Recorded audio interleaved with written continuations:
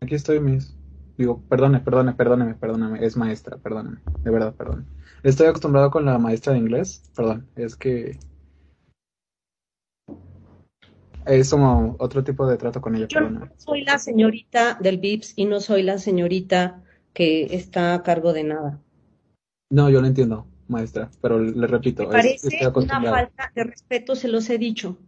¿A sus profesores les dicen mister, Eder? No, Solo directamente le las digo, profe. mujeres, solo, solo las mujeres no tenemos derecho a tener grados. Debemos ser minimizadas a ser una simple señorita.